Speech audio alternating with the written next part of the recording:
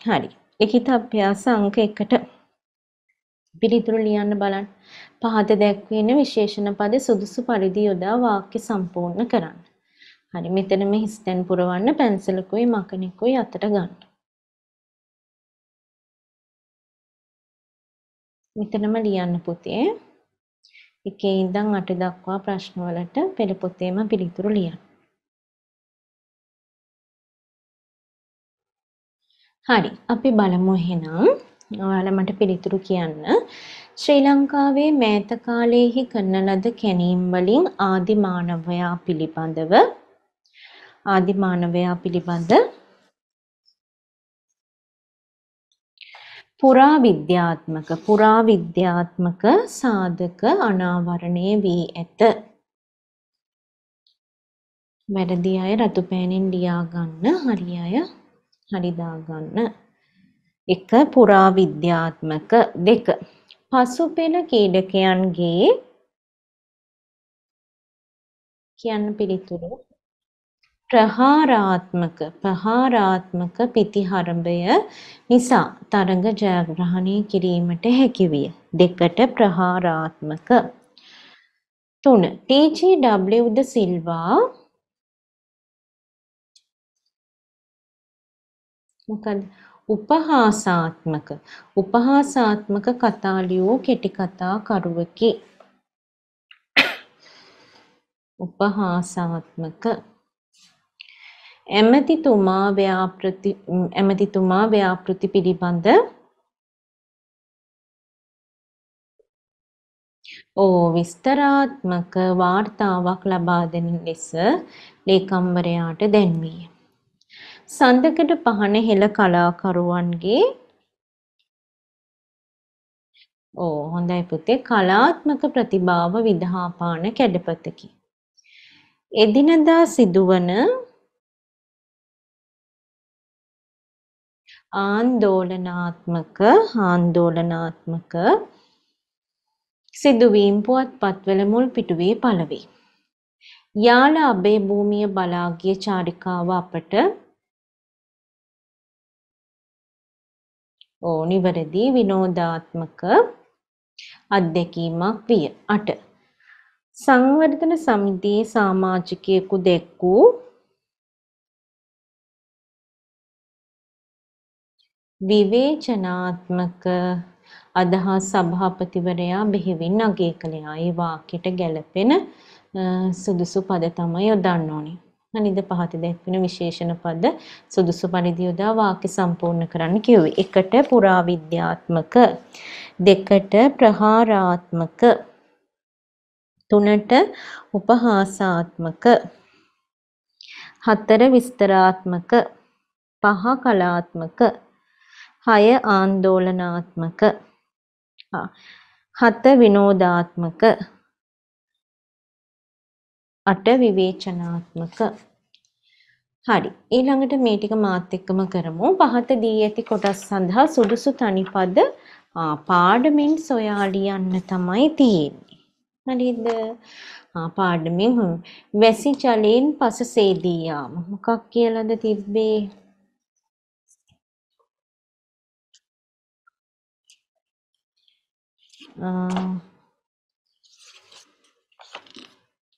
පාංශුක ආදනය. එහෙම වචනේ තිබ්බ තැනක් කියන්න පුළුවන්ද? මතකද? ඔය අනිත් යාළුවොත් කියන්න බලන්න ඇයි අනිත් අය කතා කරන්නේ නැත්තේ?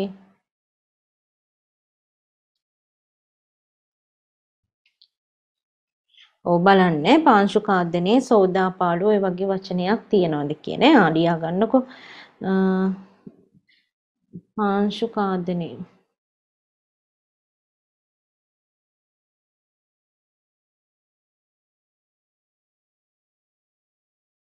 ඔයාලා බලන්න සෝදාපාලුව පාංශු කාදනේ ඒ වගේ වචනයක් තියෙනවද කියලා කාදනේ හරි. සෝදාපාලුව තියෙනවද පුතේ? ආ එහෙනම් ලියා ගන්න සෝදාපාලුව. සෝදා පාඩුව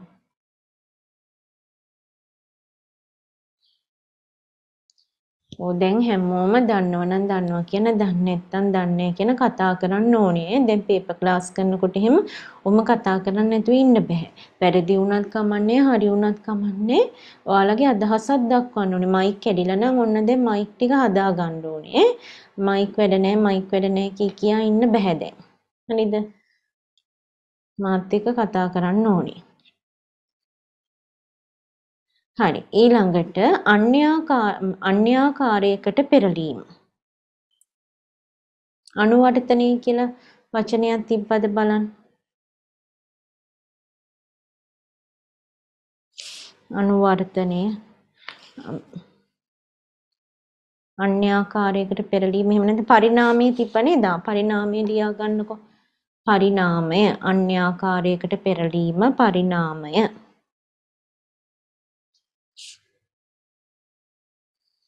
ගංගා වැව් ආදී ජලය මිරිදිය කියලා තිබුණා. ලියාගන්න මිරිදිය.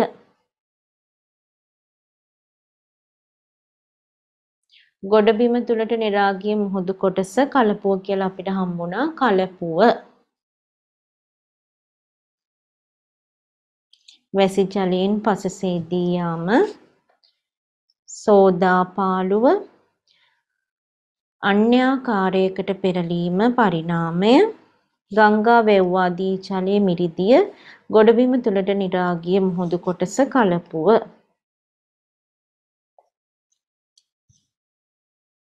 බොකු කියලා තිබ්බනම් ඒකත් ගන්න පුළුවන්. බොකු කියන්නේ ගොඩබිම් ප්‍රදේශයට කාවේදී පැතිරුණු මුහුදු ප්‍රදේශයකට.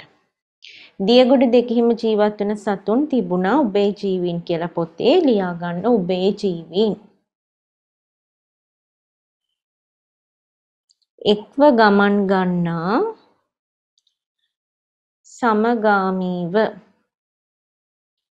සමගාමීව. සමගාමීව. කිරිබී වැඩෙන සතුන් ශීරපායින් කියලා තිබ්බා. ශීරපායින්.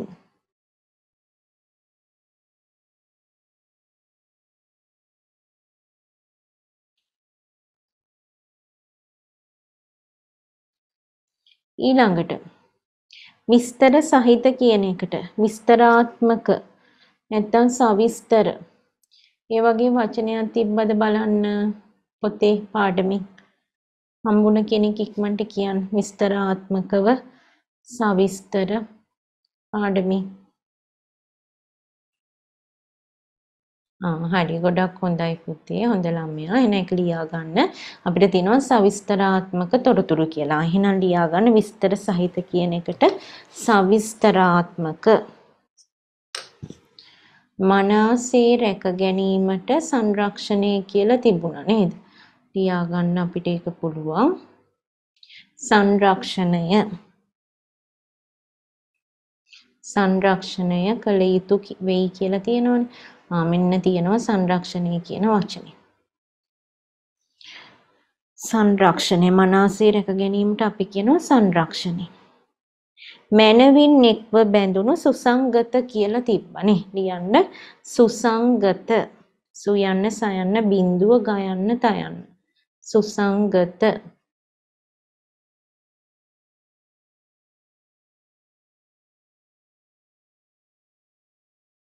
මේ සෝදාපාලුව කියන වචනේ තියෙනවා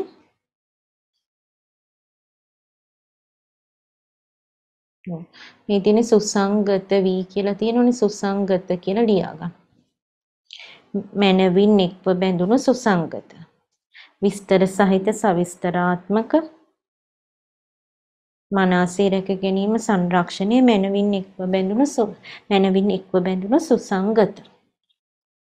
හරි මේ ටික ලියන පොතේ පිටපත් කරන්න ඕනේ. දැන් එන්නේ එහෙනම් විරාම ලක්ෂණ.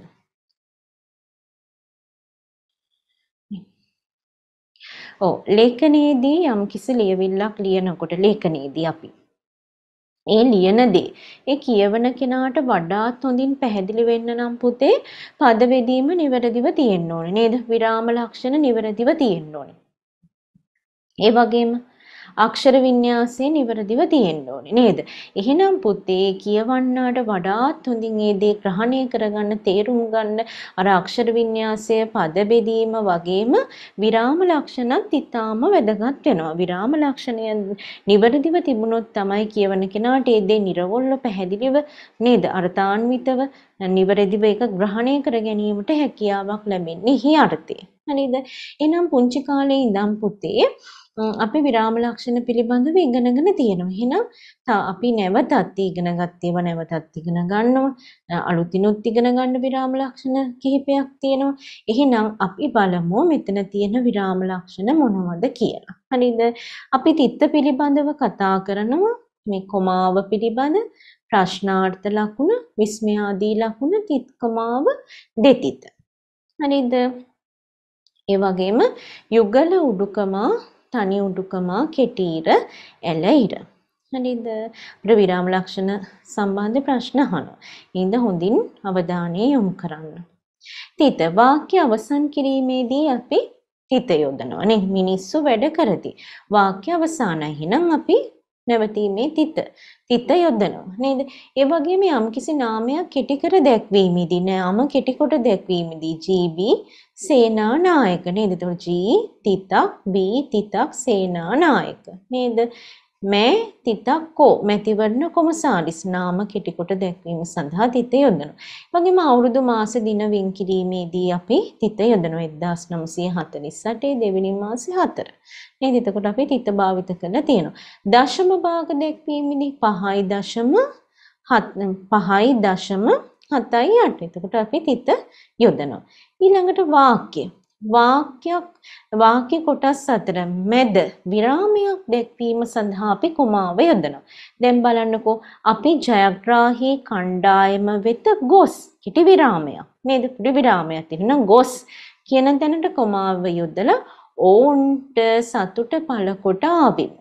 අපි ජයග්‍රාහී කණ්ඩායම වෙත ගොස් විරාමයක් කුමාව යොදනවා ඔවුන්ට සතුට පළ කොට ආවෙමු. ශ්‍රී ලංකාවේ වෙළඳ භෝග අතර තේ, පොල්, රබර් ප්‍රධාන වෙයි. නේද? අපි තේ පොල් වර්ග කිහිපයක් දක්වනකොට නේද? අපි කහ සුදු රතු මේ විදිහට දක්වනකොට තේ පොල් රබර් මේ ආකාරයෙන් දක්වනකොට එක පිටට දක්වනකොට විරාම කොමාව යොදලා ලියනවා. හරිද? තේ පොල් රබර් ප්‍රධාන වෙයි. ඊළඟට ප්‍රශ්නාර්ථ ලකුණු අපි දන්නවා ප්‍රකාශය ප්‍රශ්නයක් බව දැක්වීම ප්‍රශ්නයන්නේ නංගි බත් කෑවද? ප්‍රශ්නයක් අහන්නේ නම් ප්‍රශ්නාර්ථයක්. ඒ තුල ගැබ් වෙලා තියෙනවා නම් ප්‍රශ්නයක්. නම් අහන්නේ ප්‍රශ්නාර්ථ ලකුණ යොදනවා. විස්මය ආදී ලකුණ. ප්‍රීතියකදී සතුට ප්‍රකාශ කිරීමේදී විස්මය දාන කරනවා ශෝකයකදී ප්‍රාර්ථනාවකදී යොදනවා. අනේ මෙහිමත් අපරාධයක්. අනේ මෙහිමත් අපරාධයක්. කියන විස්මය ආදී ලකුණ එනවා. ශෝකයක්. සුබෝදෑසනක් වේවා. ප්‍රාර්ථනාවකදී අපි විස්මය ආදී ලකුණ යොදනවා. ඊළඟට තිත් කොමාව. ඒක කතෘක වාක්‍ය සම්බන්ධ කිරීම. දැන් බලන්නකෝ ඈ වේදිකා නිලියකි ටෙලිනාට්‍ය ශිල්පිනියකි ගායිකාවකි. එකම මේ මේ කතුවරයෙක් ගැන කියවෙන්නේ ඈ ඈ තමයි වේදිකා නිලිය වෙන්නේ ටෙලිනාට්‍ය ශිල්පිනියක් වෙන්නේ ගායිකාවක් වෙන්නේ. නේද? එහෙනම් පුතේ අපි මෙතන ඈ වේදිකා නිලියකි තිත්කමාව ඊළඟට ටෙලිනාට්‍ය ශිල්පිනියකි තිත්කොමාව යොදනවා ගායිකාවකි නැවතීමේ ලකුණ යොදනවා. හරිද? හරි. එතකොට මේ තිත්කොමාව තවත් මොන වගේ අවස්ථාවකදී අපිට යොදා ගන්න පුළුවන් තිත්කොමාව දැන් වාක්‍ය කිහි වාක්‍ය කිහිපයකින් එකම උක්තයක් හා සම්බන්ධ වෙනකොට මේ වාක්‍ය අංශ වෙන් කිරීමේදී අපි විස්මයාදී ලකුණ යොදනවා. හරිද වාක්‍ය කිහිපෙන් එකම උක්තයක් හා සම්බන්ධ. ගුරුවරු පොත් ලියූහ, තිත්කොමාව කියවූහ, චිත්‍රකරණයේ යෙදුණහ. නැවතීමේ ලකුණ. නා වාක්‍ය කිහිපෙම එකම උක්තය නෙමෙයි ගුරුවරු ගැන කිව්වේ. ගුරුවරුම තමයි පොත් ලිව්වේ, කියෙව්වේ. චිත්‍රකරණයේ යෙදුනේ. එහෙනම් ඒවා අපි ලියනකොට තිත්කොමාව යොදලා ලියනවා.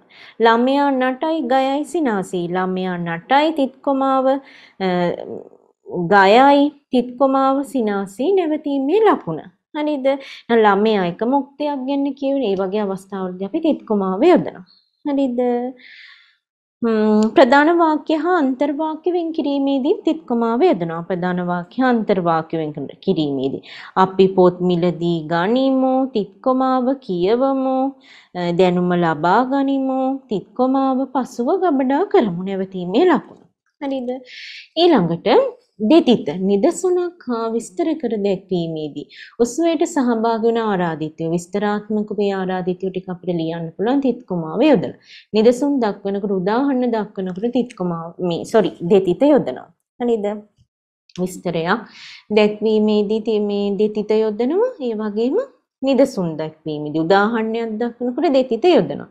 ඒ වගේම අපි අනුපාත දැක්වීමේදී නේද මේ මුදල දෙකට තුන අනුපාතයට බෙදන්න. නේද? එතකොට දෙකට තුන අනුපාතයට බෙදන්න කියලා දක්වනකොට අනුපාත දැක්වීම සඳහා අපි දෙතිත යොදනවා. යුගල උඩුකම යුගල උඩුකම යොදනවා පුතේ උපුටා දැක්වීමකදී නේද උද්ෘත පාඨයක් දානකොට දැන් ඔයගොල්ලෝ ਵਿਚාර එහෙම ලියනකොට සාහිත්‍ය පොතේ නේද උද්ෘත පාඨ උපුටා උද්ෘත පාඨ යොදනකොට මොකද කරන්නේ? යුගල උඩුකමා යොදනවා. යුගල උඩුකමාව නිවැරදි ආකාරයෙන් මෙන්න මේ විදිහට තමයි යොදන්නේ. හරිද? ඊළඟට මේ ප්‍රකෘති කතන කලින් කියන ලද දෙයක් කියනකොට නේද? විශේෂ ව්‍යවහාර දක්වනකොට. නිදසුනක් බලමු. මම ඊට එකඟ වෙමි. ඔහු පැවසීය නේද? මේ කෙනෙක් කියපු ප්‍රකාශයක්. කියලා තියෙන දෙයක්. එහෙනම් ඒක අපි යුගල උඩුකම ඇතුළේ ලියන්නේ. සිදස් සංග්‍රහව ආරම්භ වෙන්නේ මහද ගඳ කිලි කර යනුනේ. එහෙනම් විශේෂ ව්‍යවහාර දක්වනකොට අපි යොදනවා උපුටා දැක්වීම මේ මේ උපුටා දැක්වීමක් යොදන කොටත් අපි යොදනවා. නේද? හරි. උද්ෘත පාඨකෙදී යොදනවා.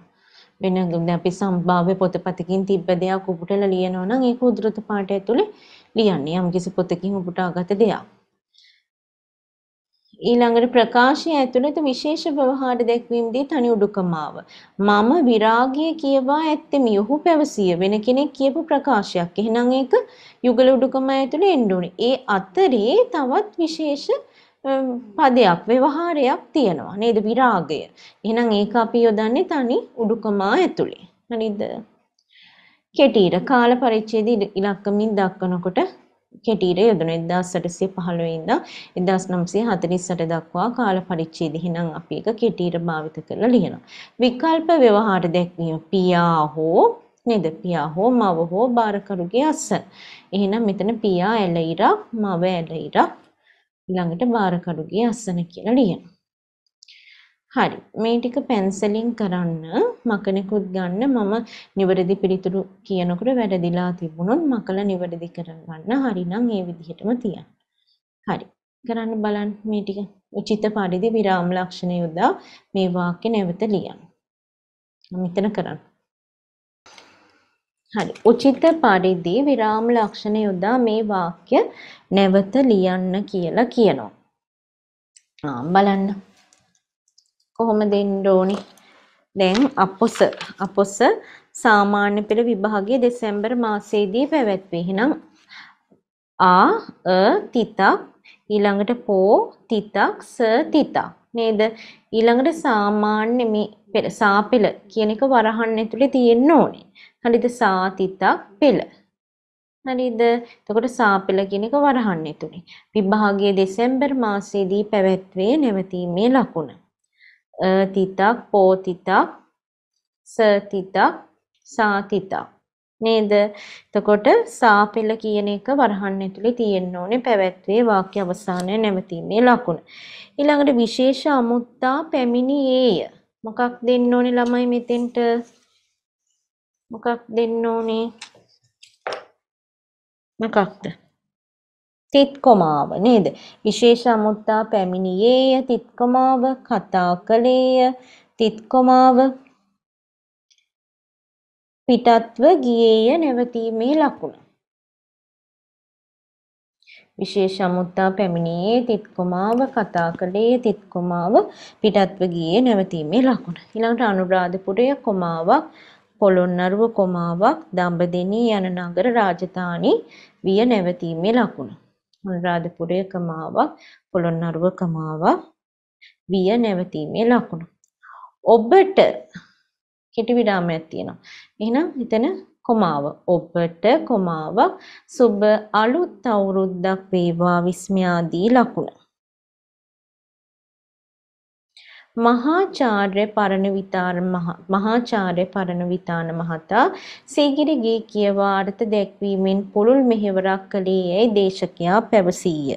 ආ එහෙනම් මහාචාර්ය කියන තැන ඉඳන් මෙහෙවරක් කළේ යැයි මේ දේ දක්වා මොකක් දෙන්න ඕනි යුගල උඩුකම.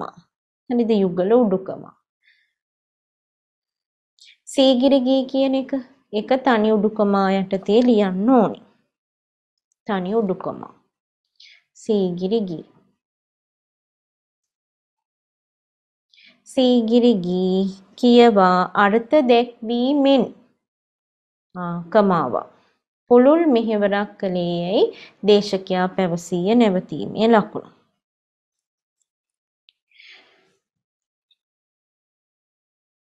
හරි. දැන් එහෙනම් ওই ටික පිටපත් කරන්න තියෙන්නේ. එන්නකෝ ඔයාලා 12 වෙනි පාඩමට භාෂාව පොතේ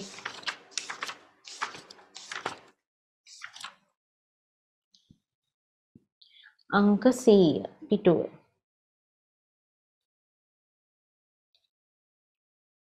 දොළොස්වෙනි පාඩම බස ඉපදුණු සැටි අසනුය විස්තරය. බස ඉපදුණු සැටි අසනුය විස්තර. මේකේ පුතේ මේ පාඩම නැවත කියවන්න ඕනේ. හරිද? කියවලා. මේ අලුත් පැහැදිලි කිරීම තියෙනෝනේ අලුත් පැහැදිලි කිරීම වල ඔයාලා දන්නේ නැති. අමාරු වචන හොඳින් පාඩම් කරගන්න ඕනේ මොකද මේ අමාරු වචන මේ දුෂ්කර පද මේ අමාරු මේ වචන තුලින් අලුත් පැහැදිලි කිරීමෙන් බහුවර්ණ ප්‍රශ්න පත්‍රය අපේ සිංහල මේ පළවෙනි ප්‍රශ්න පත්‍රයේ ප්‍රශ්න සැකසීලා තියෙනවා. හරිද? එතකොට මේවා ඇහුවොත් එහෙම දැන් මේ දැන් අවියෝජනීය දැන් ඇවිල්ලත් තියෙනවා අවියෝජනීය කියන එකේ තේරුම. හරිද? ඒ වගේ නැවත මේවෙන් ප්‍රශ්න සැකසෙන්න පුළුවන් අමාරු වචන හොඳින් බලා ගන්න අලුත් පැහැදිලි කිරීම් ටික පාඩම් කරගන්න ඕනේ. හරිද? අපි මේ පාඩමේ සාරාංශකරණේ ඒ වගේම රාජකාරී හා ව්‍යාපාරික ලිපි අපි කරලා තියෙන්නේ පිළිතුරුත් තියලා තියෙන්නේ අපි ඒක දීර්ඝ වශයෙන් ප්‍රායෝගික ලේඛන යටතේ රාජකාරී හා ව්‍යාපාරික ලිපි කරා. හැබැයි අපිට අවබෝධී ප්‍රශ්නවලට පිළිතුරු ලියන්න බැරි වුණා. මම මේ අවබෝධය සහ නැවත මේ සාරාංශය ප්‍රශ්න දෙකට පිළිතුරු එවනවා. ඒ දෙක පිටපත් කරන්න. හරිද අවබෝධය සහ සාරාංශය පිළිතුරු දෙක. ඒක තමයි gedara වැඩි. එතකොට අපි මේ පාඩමේ සඳහන් වෙනවා භාෂාවක් කියන්නේ මොකක්ද කියන කාරණාව. එතකොට භාෂාවක් කියන්නේ කිසියම් කණ්ඩායමකට සංනිවේදනය කරගත හැකි ශබ්ද හා අර්ථ සම්මුතියකට තමයි පුතේ අපි භාෂාවක් කියන්නේ. කිසියම් කණ්ඩායමකට සංනිවේදනය කරගන්න මේ තොරතුරු හෝමාරු කර ගැනීමට හැකි ශබ්ද අර්ථ සම්මුතියක් භාෂාවක් කියනවා. එතකොට මේ භාෂාව ආරම්භය පිළිබඳව ඇති මූලික මතවාද නිර්මාණය වීමේදී පදනම් වූ කරුණු දෙකක් තියෙනවා. ඒ තමයි පුතේ ආගමික විශ්වාසයි පරිණාමවාදයයි. හරිද? මේ ආගමික විශ්වාස හා පරිණාමවාදයේ මත පදනම් වෙලා භාෂාවේ ආරම්භය පිළිබඳව ඇති මේ මූලික මතවාද නිර්මාණය වීමේදී මේ ආගමික විශ්වාස පරිණාමවාදය මුල් වුණා. එතකොට ලෝකයේ පවත්නා භාෂා ගණන නිශ්චිතව ප්‍රකාශ කරන්න බෑ.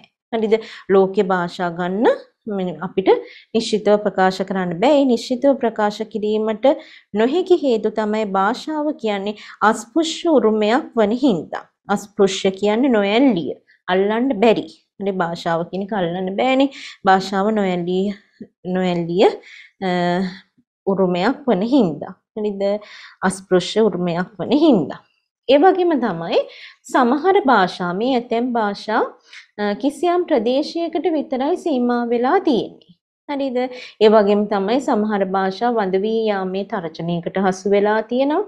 සමහර මේ භාෂා උපභාෂාව යනුවෙන් වර්ග දෙකක් තියෙනවා. භාෂා උපභාෂා කියලා වර්ග දෙකක් තියෙනවා. ඒ වගේම දේශපාලන සීමා. මෙන්න මේ කරුණු හින්දා ලෝකීය පවතින භාෂා ගණ නිශ්චිතව ප්‍රකාශ කිරීමට නොහැකි තත්වයක් තියෙනවා. භාෂාව සංස්කෘතියේ වාහකය ලෙස හැඳින්වෙන්නේ ඇයි කියන කාරණාවට අපිට කියන්න පුළුවන්. මොකද්ද මේ වාහකය කියන්නේ ගෙන යන්නා. භාෂාව සංස්කෘතිය ගෙන යන්නා ලෙස හැඳින්වීමට හේතුව අතර අපිට භාෂාව කියන්නේ සංස්කෘතික උරුමයක්. නේද? එතකොට සංස්කෘතියක් නියෝජනය කරන්නේ නිරූපණය කරන්නේ භාෂාව. නේද? සෑම රටක මේ සංස්කෘතිය නියෝජනය කරන්නේ නිරූපණය කරන්නේ භාෂාව මගින්. භාෂාව හා සංස්කෘතිය අතර තියෙන අවියෝජනීය සම්බන්ධතාවයක්. ඒ කියන්නේ වෙන් කළ නොහැකි සම්බන්ධතාවයක් තියෙනවා. හොඳද? හරි මේ මේක කියව ගන්න. ඒ වගේම මේ අවබෝධය ප්‍රශ්න වලට මම යනවා අවබෝධය සහ සාරාංශයේ ප්‍රශ්න වලට පිළිතුරු පිටපත් කරන්න.